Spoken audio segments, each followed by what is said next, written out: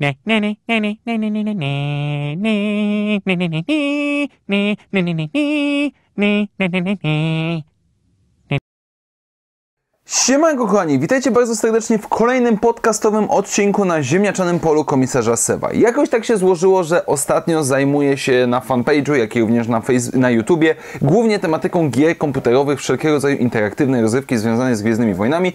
No oczywiście wynika to z faktu, że po drodze mieliśmy E3, gdzie dostaliśmy fragment rozgrywki z Jedi Fallen Order, o tym co nieco mówiłem w poprzednim materiale, dostaliśmy zapowiedź nowej gry z LEGO Star Wars, jak i również e, w końcu znalazłem nieco czasu, żeby zająć zająć się dzisiejszym naszym tematem, czyli pierwszy sezon doświadczenia VR, czy też rozgrywki VR Vader Immortal. I stwierdziłem, że jest to temat, który warto omówić, żeby zobaczyć. I od razu tutaj muszę zaznaczyć jedną niezwykle ważną rzecz.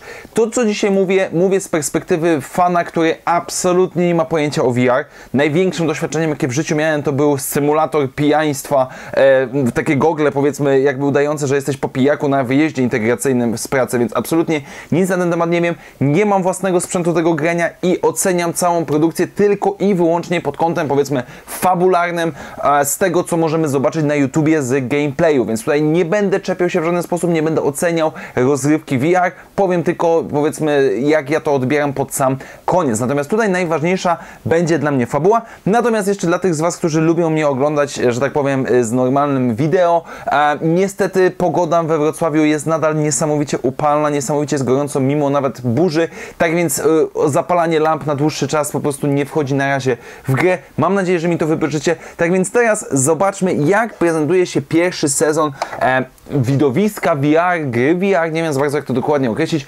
Vader Immortal. I mówiąc krótko, z tego 40 około minutowego materiału, który dostaliśmy na YouTubie, który możemy obejrzeć i oczywiście link zamieszczam w opisie, Szału nie ma. Znaczy, najpierw chcę się skupić na ogólnych wrażeniach, fabułę sobie zostawić na później, e, w drugiej części powiedzmy tego materiału, bo to jest jakby troszeczkę osobna sprawa, ale patrząc na to wszystko i patrząc na takie buńczuczne zapowiedzi twórców, jakie to będzie super, ekstra niesamowite, no jestem rozczarowany co nieco, bo mówiąc szczerze, przez te 40 minut mamy dosyć sporo nudy tak naprawdę. Niewiele w tym wszystkim się dzieje um, i oczywiście no wiadomo, że jakby samo doświadczenie, że jesteśmy w tej grze, tak, że jesteśmy dookoła, czujemy to jakby i jakby doświadczenie VR tak to nam się prezentuje, ale nawet dodając jakby ten aspekt, nie wydaje mi się, ponieważ tak 20-25 minut, czy jak nie więcej tego materiału, to są rozmowy. My, oczywiście nasz bohater jakby nie wypowiada e, żadnych kwestii, tylko słuchamy tego, co wszyscy dookoła mówią. To jest chodzenie po jakichś lokacjach, czy to po Mustafach, czy to po statku, e, rozwiązywanie jakichś bardzo dosyć prostych y, zagadek logicznych, które nie są jakoś specjalnie wymagające, po, po prostu podążanie za towarzyszami podróży, czy podążanie tam, gdzie wskazuje nam droga i, i wykonywanie jakichś questów drobnych. I nie ma tutaj tutaj zbyt wiele, relatywnie rzecz ujmując, akcji tak naprawdę, e, ponieważ jeżeli popatrzymy na takie stricte interaktywne rzeczy, no to mamy jeden segment, gdzie strzelamy, gdzie strzelają do nas szturmowcy i my musimy bronić, póki nasz droid nie odpali platformy latającej, żebyśmy mogli uciec.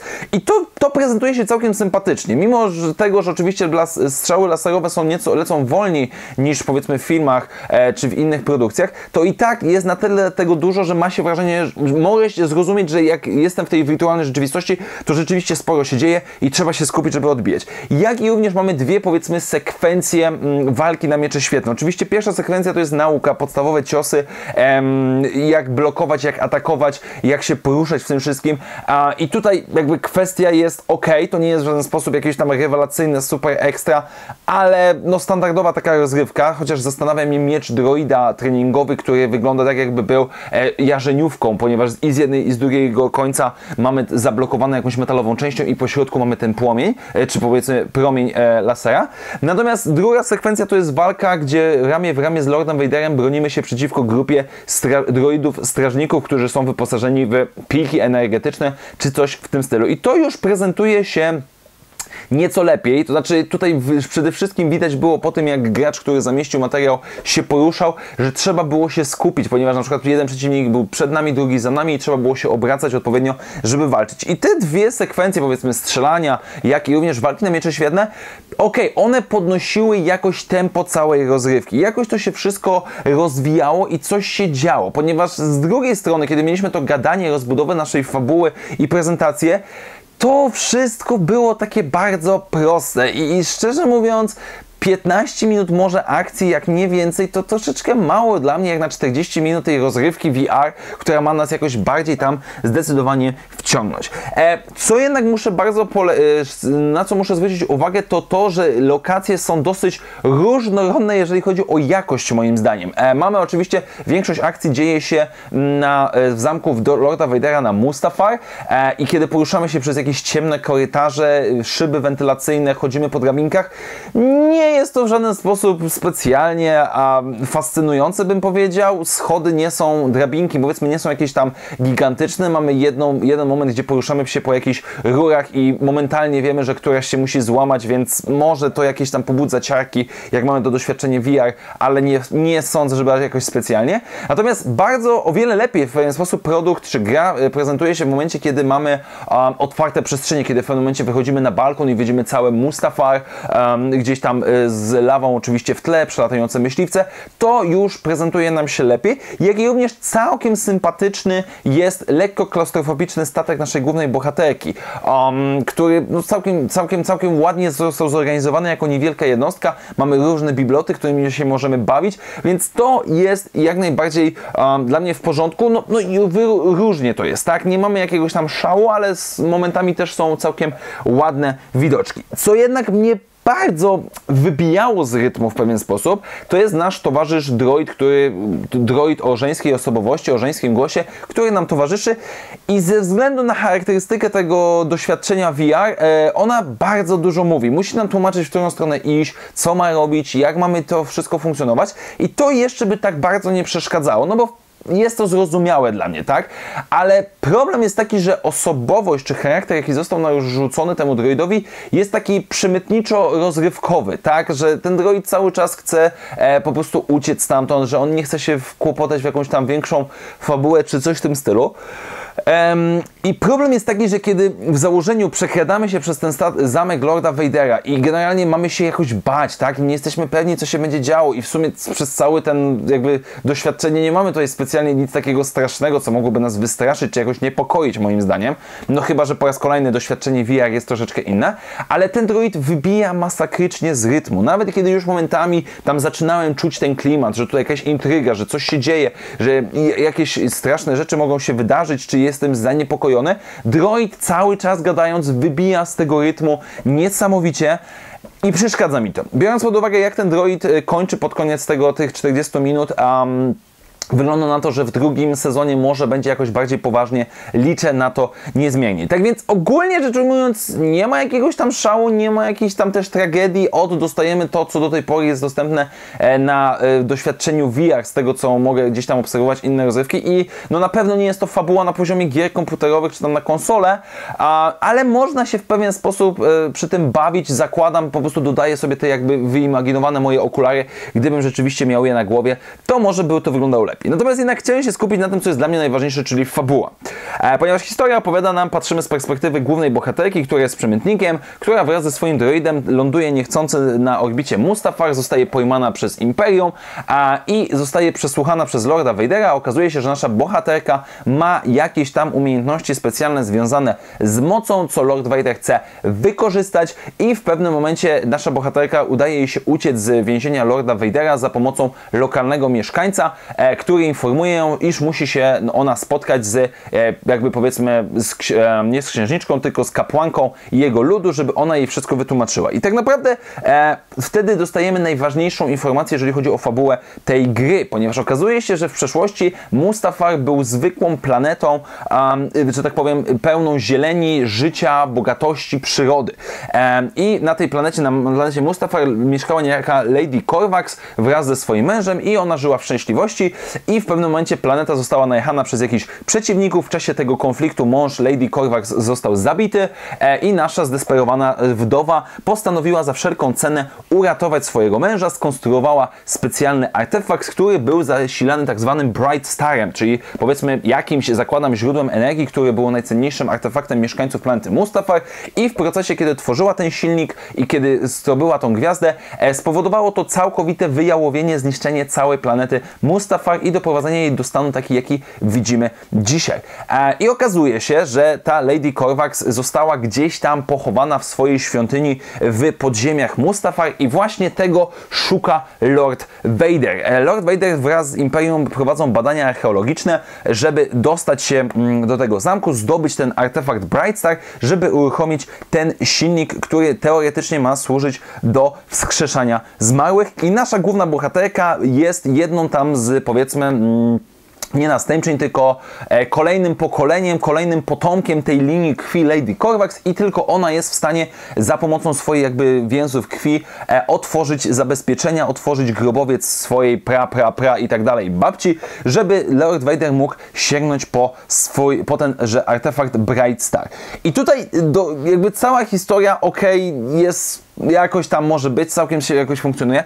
Tylko problem jest taki, kiedy dowiadujemy się, po co Lord Vader to wszystko robi. Ponieważ w pewnym momencie gry jesteśmy świadkami oczywiście z szybu gdzieś tam nad salą. Widzimy, jak Lord Vader rozmawia z tajemniczym swoim asystentem, e, który oczywiście w, w trakcie dialogu dowiadujemy się więcej informacji i w pewnym momencie widzimy ten silnik, który znajduje się na środku pomieszczenia. Lord Vader przed nim klęka, zdejmuje swój hełm i zaczyna wzywać Padmę. I słyszymy głos Padmę wydobywającą się z tego silnika, powiedzmy, czy z tego artefaktu, która pyta się Ani, gdzie jesteś? Czyli po raz kolejny twórcy zaserwowali nam wątek tego, że Lord Vader poszukuje jakiegoś sposobu, żeby przywrócić do żywych Padmę.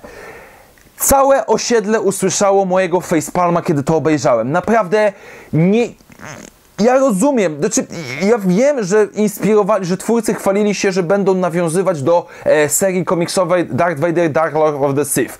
Dobrze, tylko nawiązywanie to nie jest kopiowanie wątku, który tam był. Czemu? Po co? Do jasnej cholery, przepraszam, ale już naprawdę ciężko jest mi z tym wytrzymać. Czemu bierzecie wątek, który tak dobrze został zakończony w tej serii komiksowej i otwieracie go na nowa?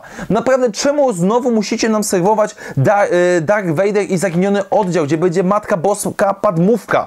Naprawdę, na, naprawdę tyle czasu wam zajęło. Tak długo myśleliście nad scenariuszem do super widowiska VR, żeby wycisnąć najbardziej banalną rzecz? Naprawdę tak bardzo macie gdzieś ten kanon, gdzie no już dobra, zamknęliśmy ten wątek, tak już Anakin czy tam Darth Vader stał się Darthem Vaderem w zupełności, już nie szuka Padme, tak? Nie, nie, palnijmy sobie to wszystko i po prostu, a Naprawdę, może ja przesadzam, ale, ale jestem strasznie wkurzony, bo to jest główny zamysł? To Lord Vader znowu próbuje ożywić Padme? Ludzie, no, no... Jest to straszne, jest to naprawdę przykre i, i wszystko, co, do, co dodatkowo dostajemy, czyli tych mieszkańców Mustafar, całkiem niezły pomysł na to, jak prezentowana nam jest historia, bo w pewien sposób jesteśmy w środku wizji, e, która toczy się dookoła nas i my możemy kręcić się dookoła w tym wiarze i obserwować to i co jest całkiem niezłe, nie jakieś tam super ekstra szałowe graficznie, ale okej, okay, niezły pomysł. E, i, I to wszystko sprowadza, i mamy tego tajemniczego towarzysza Lorda Vadera i to wszystko nam się sprowadza do, do cholernego wskrzeszania Padme znowu? Ach, naprawdę, jestem, jestem strasznie zawiedziony, jest mi strasznie przykro i no i, i, i, nie wiem, no, no, no i to całkowicie jakby zniechęca mnie do tego całego projektu w jakikolwiek sposób, bo, bo naprawdę nie, nie, nie, nie kupuję tego. Nie kupuję i pójścia po najmniejszej linii oporu i okej, okay, ładnie, mamy ładne widoczki. Zapomniałem wspomnieć, że kiedy schodzimy do tych wykopalisk, tam gdzieś pod tą powierzchnią planety jest ładnie, to wszystko wygląda, taka głębia, ale no do jasnej cholery nie. Wskrzeszanie Padme nie. Padme jest, jest popiołem, ona nie żyje, koniec, leży w grobowcu na Nabu. Dziękuję. Ach, niestety, niestety po prostu fabularnie jestem złamany, załamany, jestem zawiedziony i nie podoba mi się to, co dostaliśmy. Tak więc podsumowując, dla mnie ten materiał przede wszystkim pokazuje nadal cały czas to, co siedzi we mnie, czyli no, technologia VR ma jeszcze daleką drogę do rozwoju. Nie mówię, że to jest bardzo złe. Prawdopodobnie gdybym zaczął się w to grać, zacząłbym się w to bawić, to by mi się spodobało i mógłbym przymknąć oko, ale nie jest to dla mnie najważniejszy problem. Ok, niech na tym zajmują się ludzie, którzy w to grają, a ja absolutnie nie mam zamiaru kupować sprzętu Oculus Rift czy tam cokolwiek to jest, samej gry. Przede wszystkim dlatego, że no taki babol, taki, taka prostota, taka konstrukcja cepa fabularna, czyli o, znajdujemy sekretny artefakt na Mustafar, żeby wskrzesić Padmę. Nie kupuję tego, to jest słabe, naprawdę. I, I, jestem w stanie wiele wybaczyć. Dziwny miecz świetny. To, że sztampowo mamy wprowadzone naukę walki mieczem świetnym. Okej, okay, dobra, whatever. Ale nie w momencie, kiedy Darth Vader jest znowu tym rozbeczanym Anakinem, który gdzie jest moja Padme. Nie, nie i jeszcze raz nie. Mówię, że jestem zawiedziony, przykro mi. I tyle. Po prostu, sorry, Vader Immortal, następne odcinki, czy tam sezony, nieważne kiedy one wyjdą, no dobra, obejrzę, dam znać, zrecenzuję, ale absolutnie w żaden sposób nie czekam. Jest, jest po prostu mech. Dla mnie jest po prostu jedno wielkie mech, średniawa i w żaden sposób mocno, jakoś specjalnie mnie to nie interesuje. Bardziej z redaktorskiego w pewien sposób obowiązku będę tym się tutaj zajmował na tym kanale, ale więcej czasu na to naprawdę nie mam ochoty poświęcać. Tak więc oczywiście link do całego materiału możecie znaleźć um, w, w, w, opisie tego filmu. Dajcie znać, co wy na ten temat uważacie, jak wam to się podobało i czy rzeczywiście przesadzam, czy nie przesadzam. Jakie jest do tego wasze podejście, a w szczególności, jeżeli mieliście możliwość zagrania w to w pełnym osprzętem, um, to dajcie znać, jak to wygląda w rzeczywistości. I mówię, nie oceniam, jakby nie staram się oceniać tej gry pod względem właśnie tego VR-u stricte, bo nie grałem. Dla mnie, ja się skupiam przede wszystkim na fabule, która niestety jest mocno średnia, jak nie po prostu słaba. Tak więc dziękuję Wam bardzo serdecznie. Do zobaczenia wkrótce w następnych materiałach i jak zawsze, niech moc będzie z Wami.